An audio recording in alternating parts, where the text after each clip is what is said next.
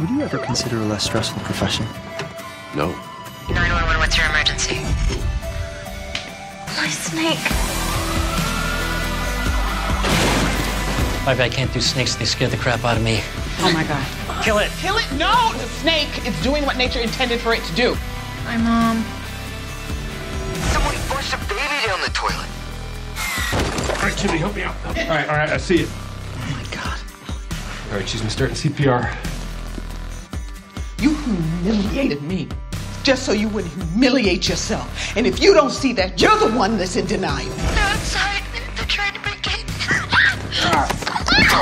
Petey! Petey! I care about that little girl, so you have exactly two seconds to make a decision here.